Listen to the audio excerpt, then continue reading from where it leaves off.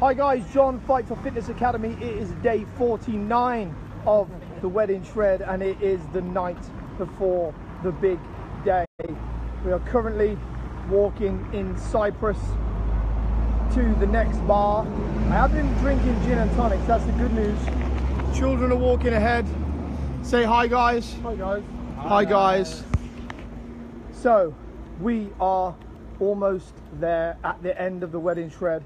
So that means after tomorrow I can eat waffles, ice creams, drink as many pina coladas as I want because the shred will be over. Will be over. So remember guys, I will be posting videos tomorrow of the wedding day. You will see my beautiful wife, you lucky devils. And remember, we're in Cyprus, we're in Limassol, there's bars, there's clubs, there's lager, there's pina coladas, there's ice cream, there's crisps, there's popcorn, there's chocolate, there's temptation everywhere.